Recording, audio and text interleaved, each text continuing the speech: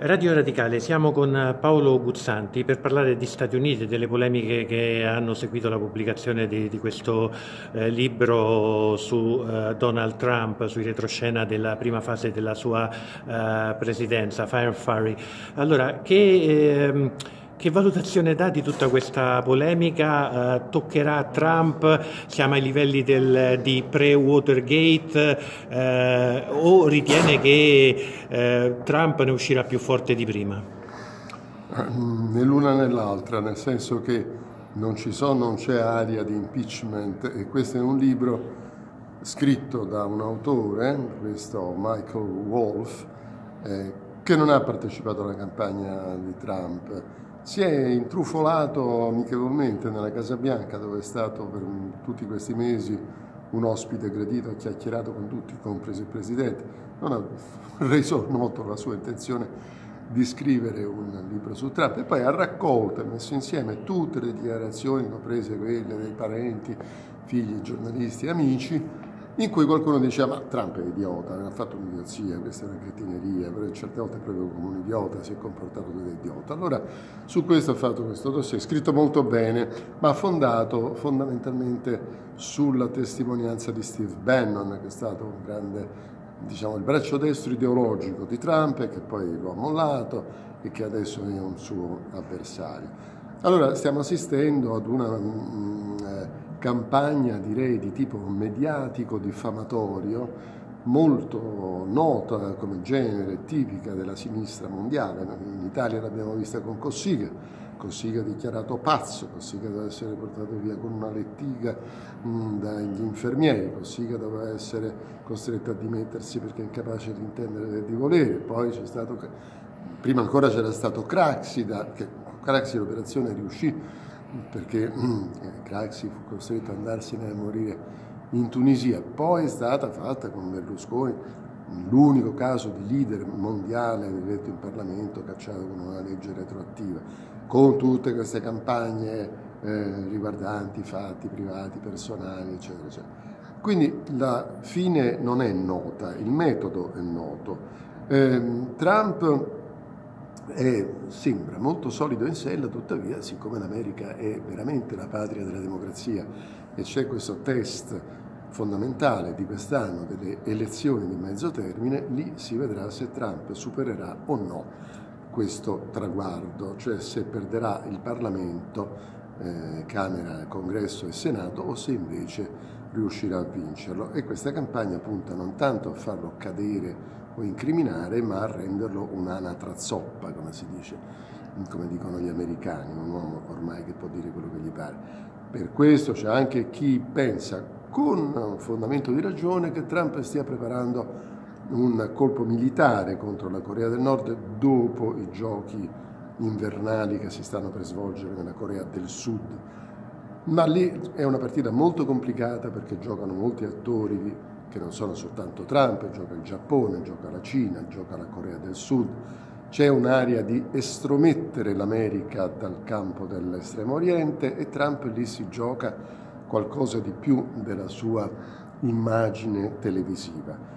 È una partita di lungo termine, il termine sarà quello delle elezioni di mezzo termine, scusate la, la ripetizione, però è così, e c'è questo tam tam fortissimo, ferocissimo, alimentato anche dai nostri inviati televisivi che non fanno che eh, dichiarare quanto Trump sia una persona mostruosa, incredibile, pazzesca, ignorante, ignobile, razzista, stupido, eccetera, eccetera. Tutto questo, chiunque sappia l'inglese, legga i giornali e possa rendersi conto di persona, fa parte di una grande, tremenda campagna. Nixon fu estromesso con una grande, tremenda campagna, ma lì c'era, diciamo... Preceduta, preceduta anche dal, dall'estromissione del suo vice che fu costretto... Certo, certo, certo, Spiro Agnew.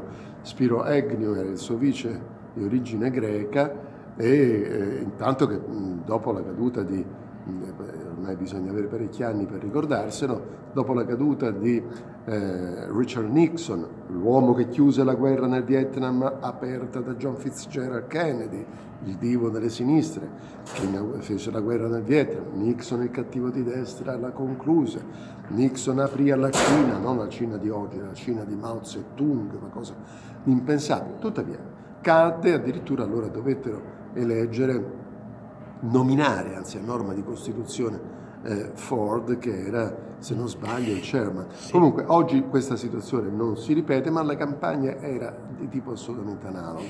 Eh, un'ultima valutazione. Trova che ci sia, diciamo, eh, sia un po' insolito questa, questa situazione?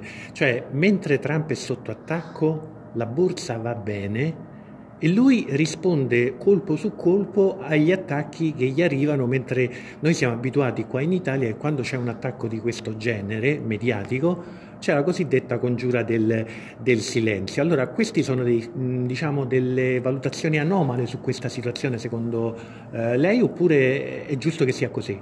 Io adoro Trump, devo dire anche per questo, perché lui viene dal reality show, si comporta come un grande presentatore televisivo, è uno che quando lancia i suoi Twitter poi aggiunge stay tuned, cioè restate in onda, come faceva quando dirigeva un programma, e risponde colpo su colpo, cosa che non è diplomatica, non è nelle buone creanze, nelle buone regole, ma Trump rompe le buone creanze e anche le scatole a chi è portatore del politicamente corretto.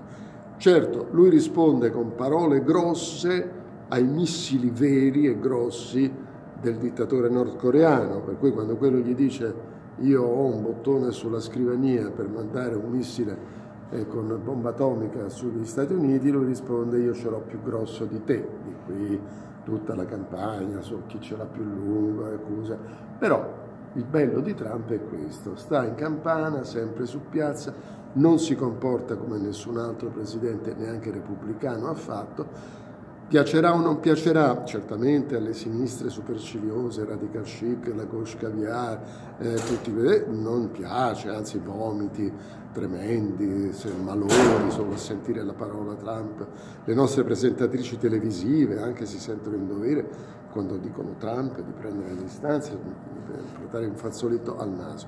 Questo ce lo rende a noi liberi, libertari e liberali estremamente simpatico.